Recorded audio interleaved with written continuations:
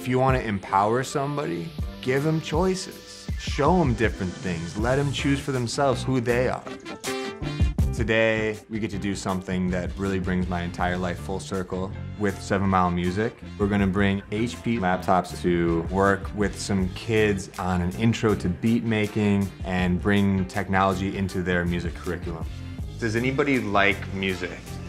All right, cool. I like music too.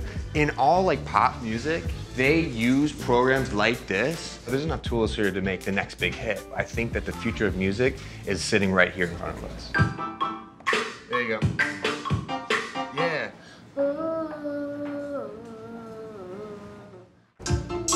I think it's pretty sweet. Learn something new.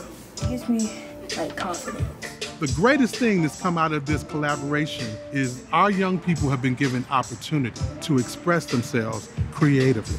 To like partner with HP to bring a bunch of awesome computers into the space and give these kids a new spin on it, some technology, and to see that excitement from them, that's the kind of inspiration that will change the world.